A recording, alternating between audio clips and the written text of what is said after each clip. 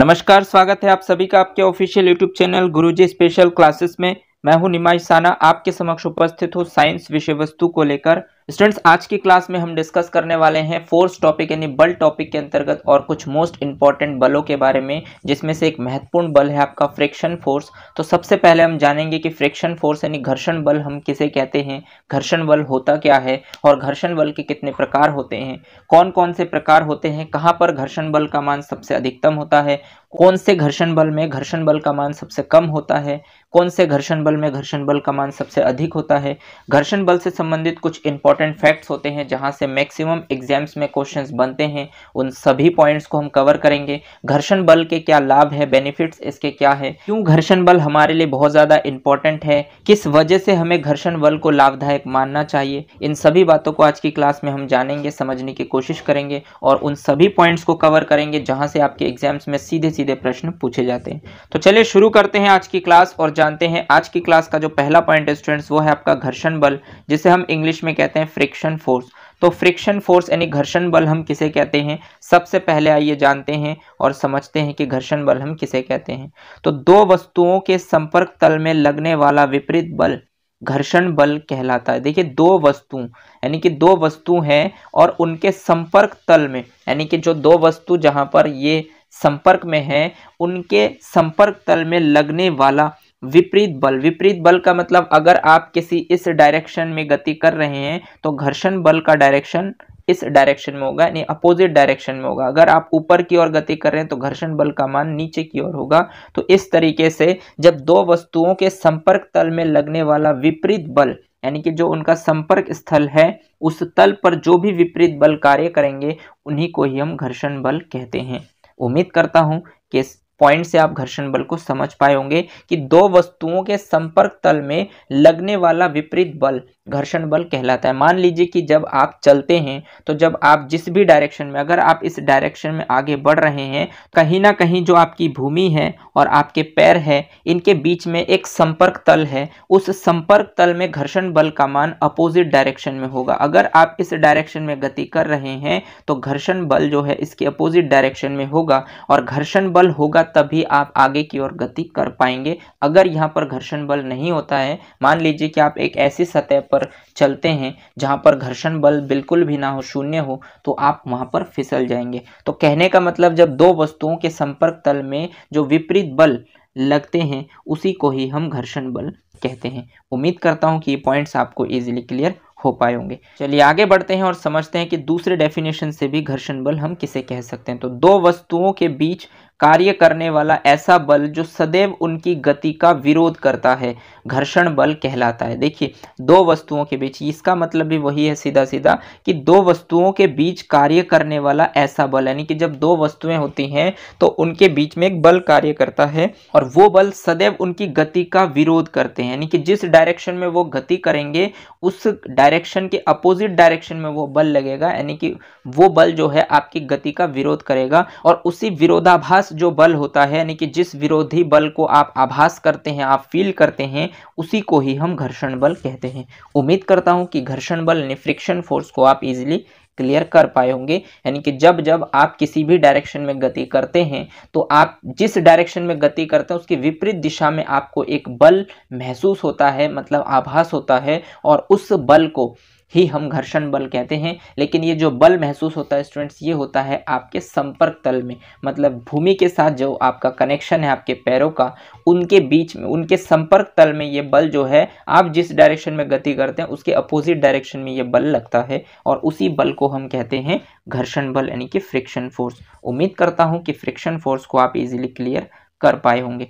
चलिए आगे बढ़ते हैं और समझते हैं कि घर्षण बल के कितने प्रकार होते हैं। तो सबसे पहले आपसे पूछा जा सकता है कि घर्षण बल कितने प्रकार के होते हैं। तो आपको बताना है कि घर्षण बल पाँच प्रकार के होते हैं। यानी कि पाँच टाइप्स कौन कौन से हैं? तो नंबर फ़र्स्ट है आपका स्थैतिक घर्षण बल नंबर सेकेंड है आपका सीमांत घर्षण बल नंबर थर्ड है आपका गतिक घर्षण बल नंबर फोर्थ है आपका सर्पिल घर्षण बल और नंबर फाइव है आपका लोटनिक घर्षण बल।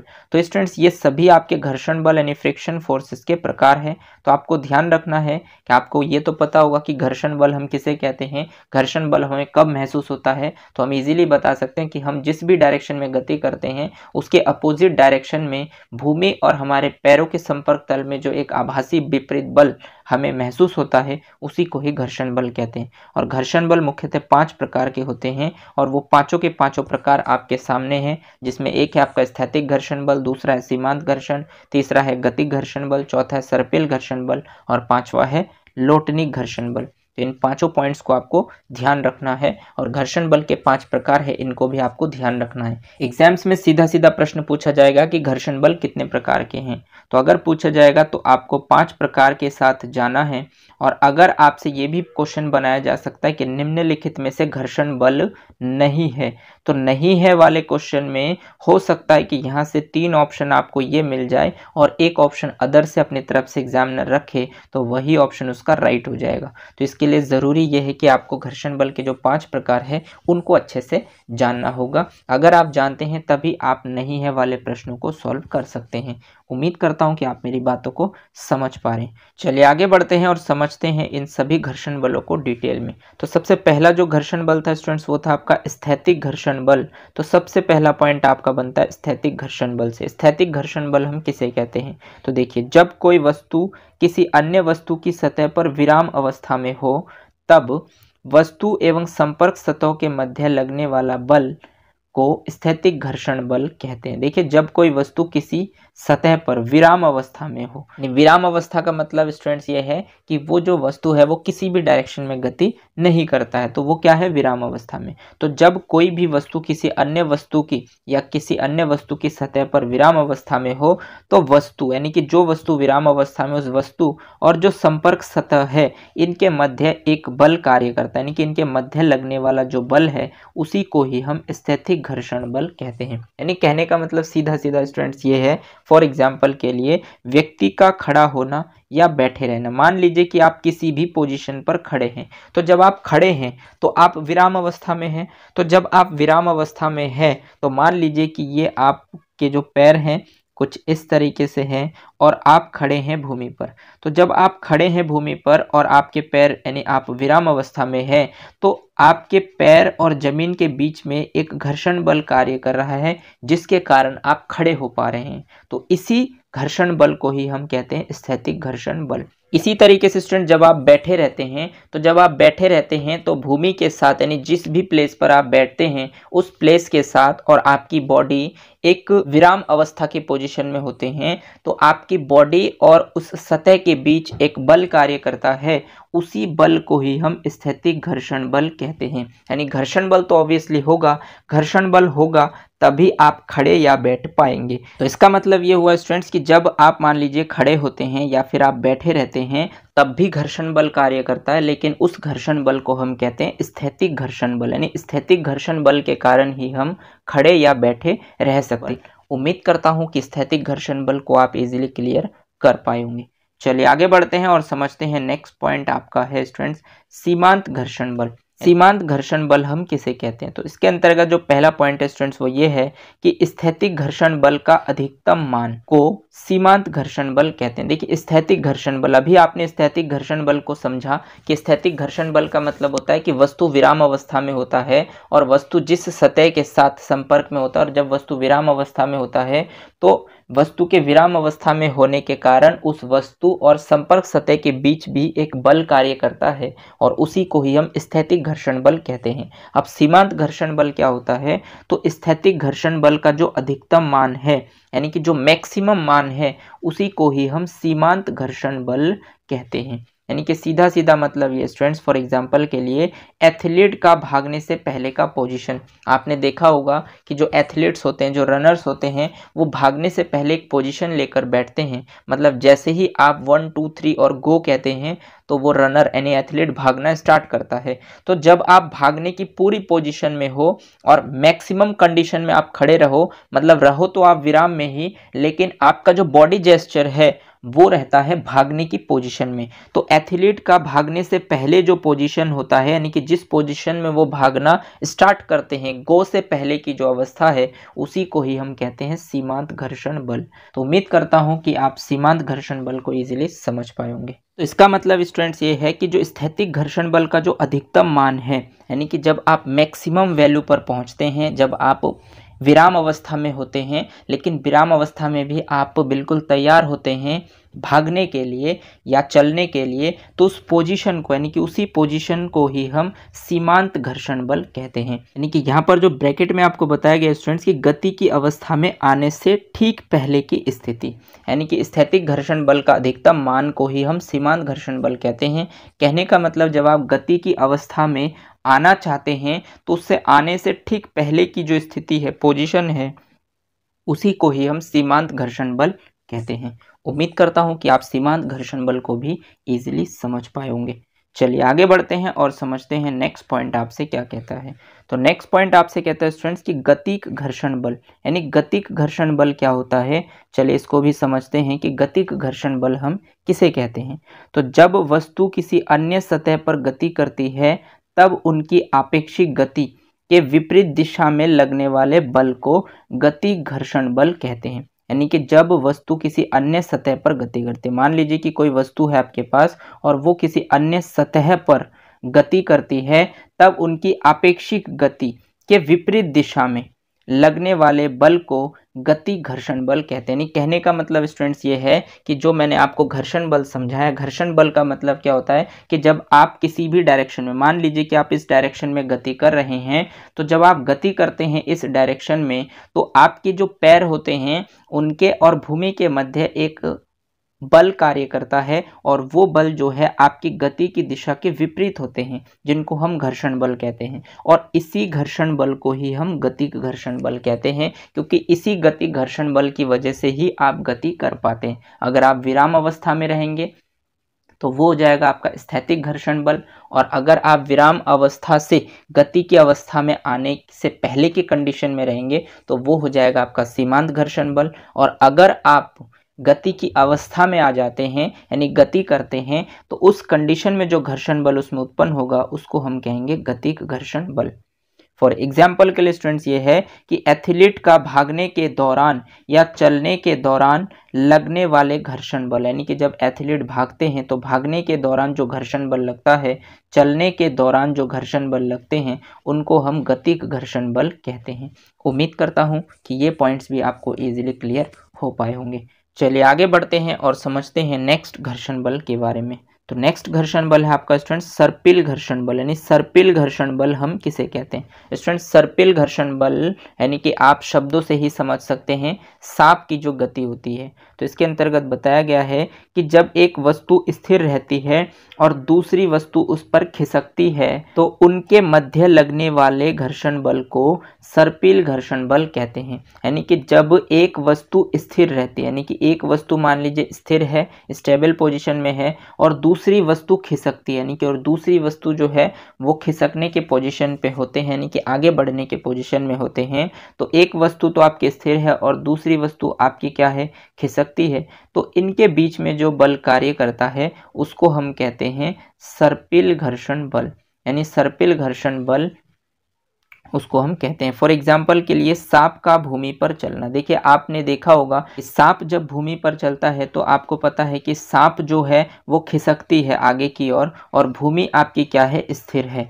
तो सांप आगे बढ़ने के लिए खुद को खिसकाती है और खुद को आगे की ओर खिसकाने के लिए सांप को ज़्यादा से ज़्यादा बल का प्रयोग करना पड़ता है, क्योंकि अगर दूसरा पर्सन भी पीछे की ओर गति करता है, यानी कि सांप मान लीजिए इस डायरेक्शन में गति करता और अगर भूमि इस डायरेक्शन में गति करती तो उस केस में सांप को कम बल लगाना पड़ता। लेकिन ये जो भूमि है, ये आपकी स्थिर पोजीशन में है और सांप को खुद से ही आगे बढ़ना है। तो इसका मतलब उनको इस कंडीशन में एक्स्ट्रा फोर्स लगाना होता है। तो जब एक्स्ट्रा फोर्स यानी घर्षण बल का मान जब आप सबसे अधिकतम लगाते हैं तो उसको हम कहते हैं सर्पिल घर्षण बल। क्योंकि सर्पिल घर्षण बल में एक वस्तु स्थिर रहती है और दूसरी वस्तु पहली वस्तु पर खिसकती है, आगे की ओर बल लगाकर। तो इस बल को ही हम कहते हैं सर्पिल घर्षण बल और सांप के चलने के कारण ही इसका नाम सर्पिल घर्षण बल भी पड़ा है।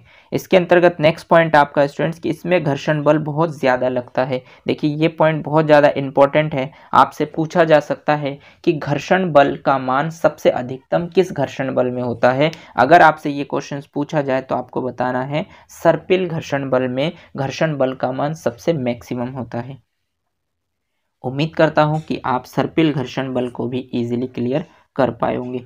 चलिए आगे बढ़ते हैं और समझते हैं नेक्स्ट पॉइंट और लास्ट पॉइंट आपके घर्षण बल के अंतर्गत है। चलिए आगे बढ़ते हैं और समझते हैं नेक्स्ट पॉइंट आपका है स्टूडेंट्स लोटनिक घर्षण बल, यानी लोटनिक घर्षण बल हम किसे कहते हैं? तो देखिए, लोटनिक घर्षण बल हम कहते हैं जब एक वस्तु स्थिर रहती है और दूसरी वस्तु उस पर लुढ़कती है तो उनके मध्य लगने वाले बल को लोटनिक घर्षण बल कहते हैं। देखिए, इसमें भी कंडीशन सेम है सर्पिल घर्षण की तरह, लेकिन थोड़े से चेंजेस है। जब एक वस्तु स्थिर रहती है, यानी कि एक वस्तु तो आपकी स्थिर होंगी और दूसरी वस्तु उस पर लुढ़केंगी। तो इसका मतलब ये हुआ कि जब एक वस्तु आपकी स्थिर रहती है और उस पर दूसरी वस्तु लुढ़कती है तो उस कंडीशन में उनके मध्य एक बल कार्य करता है और उस बल को हम कहते हैं लोटनिक घर्षण बल। तो उम्मीद करता हूँ कि सर्पिल घर्षण बल में क्या होता है कि दूसरी वस्तु पहली वस्तु पर खिसकती है। यहाँ पर जो है, दूसरी वस्तु पहली वस्तु पर लुढ़कती है, यानी कि बहुत जल्दी मूवमेंट कर लेती है, जिसको हम लुढ़कना कहते हैं। तो जब वस्तु, दूसरी वस्तु लुढ़केगी किसी पहली वस्तु पर, जो वस्तु स्थिर है तो उस कंडीशन में उनके मध्य भी एक बल लगेगा। उस बल को हम कहेंगे लोटनिक घर्षण बल। फॉर एग्ज़ाम्पल के लिए रोटी बेलने के दौरान बेलन का लुढ़कना। देखिए, रोटी बेलने के दौरान जब आपके बेलन लुढ़कते हैं तो उस कंडीशंस को हम कहते हैं लोटनिक घर्षण बल।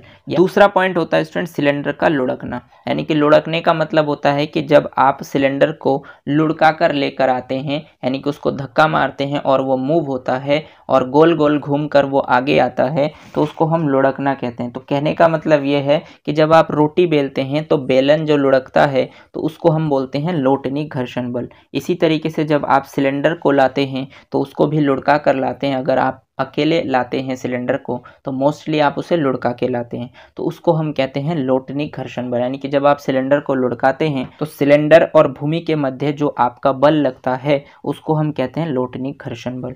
उम्मीद करता हूँ कि लोटनी घर्षण बल को भी आप इजीली क्लियर कर पाए होंगे। चलिए आगे बढ़ते हैं और देखते हैं नेक्स्ट पॉइंट आपसे क्या कहता है। तो नेक्स्ट पॉइंट आपसे कहता है स्टूडेंट्स कि इसमें घर्षण बल बहुत कम लगता है, इसलिए वस्तु लुढ़कता है। देखिए, घर्षण बल जो है, इसमें बहुत कम लगता है। यानी कि अगर आपसे पूछा जाए कि घर्षण बल का मान सबसे कम कब यूज़ होता है, यानी घर्षण बल आपका सबसे कम कहाँ पर यूज़ होता है तो जब आप लोटनिक घर्षण बल करते हैं तो उस दौरान घर्षण बल का मान सबसे कम होता है, और जब आप सर्पिल घर्षण करते हैं तो उस दौरान घर्षण बल का मान सबसे अधिकतम होता है। उम्मीद करता हूँ कि यहाँ तक जितने भी पॉइंट्स हमने घर्षण बल के अंतर्गत पढ़े हैं, जो भी पाँच प्रकार है, उन सभी पाँचों के पाँचों प्रकार को आप इजीली क्लियर कर पाए होंगे।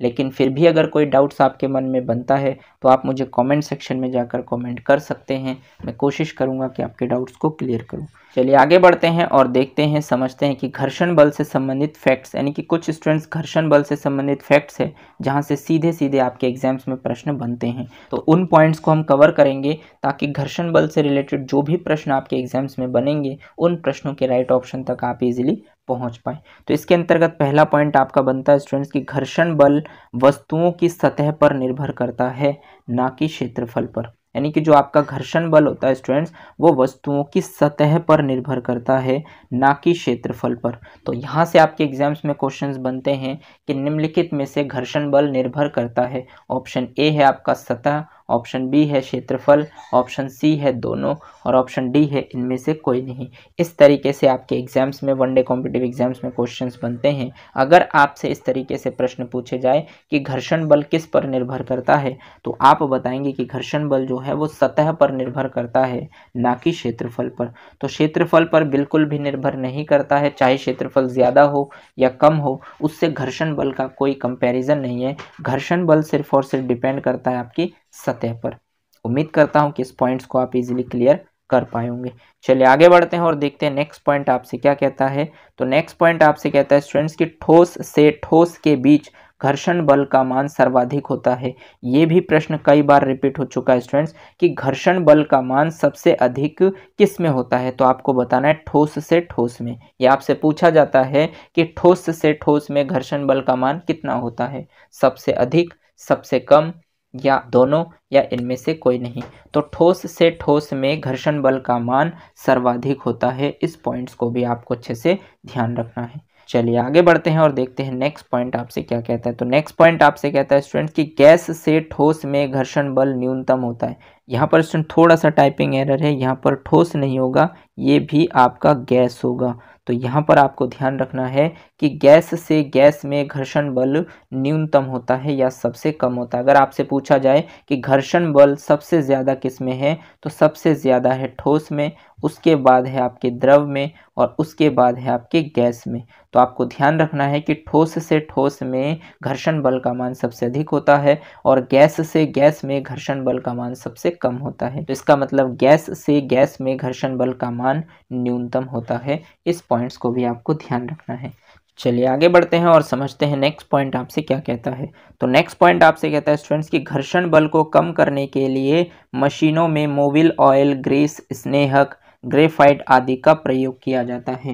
यानी कहने का मतलब आपने देखा होगा स्टूडेंट्स कि जब हम मशीनों में या किसी वाहन में मोबिल ऑयल का यूज़ करते हैं या फिर हम ग्रीस का उपयोग करते हैं या फिर हम स्नेहक का उपयोग करते हैं, ग्रेफाइट का उपयोग करते हैं तो इन सभी चीज़ों का उपयोग हम इसीलिए करते हैं ताकि घर्षण बल जो है वो कम से कम हो सके। क्योंकि घर्षण बल कम होगा तभी आपके जो गाड़ी के पहिए हैं, वो सही से मूव कर पाएँगे और उसके अंदर के सिस्टम में नुकसान कम से कम होगा। इसीलिए आप जो है, हर दो महीने, तीन महीने या वन थाउज़ेंड किलोमीटर पर अपनी गाड़ी को सर्विस कराते हैं। तो जब आप गाड़ी को सर्विस कराते हैं कि स्कूटी को या बाइक को सर्विस कराते हैं तो उसके अंतर्गत उसके अंदर मोबिल ऑयल डाला जाता है, उसमें ग्रीसिंग की जाती है, ताकि आपके जो वाहन है, आपका जो मशीन है, वो बेहतर ढंग से चल सके और उसमें घर्षण बल कम से कम यूज़ हो सके। जितना ज़्यादा कम घर्षण बल उसमें उपयोग होगा, उतना ही ज़्यादा आपका जो सिस्टम है, वो सही से वर्क